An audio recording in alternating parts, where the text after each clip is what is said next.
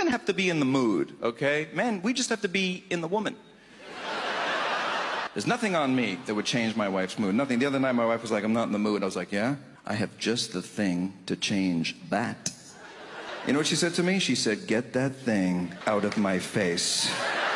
Now, no man in the history of mankind has ever been presented with a vagina and then said the words, Get that thing out of my face.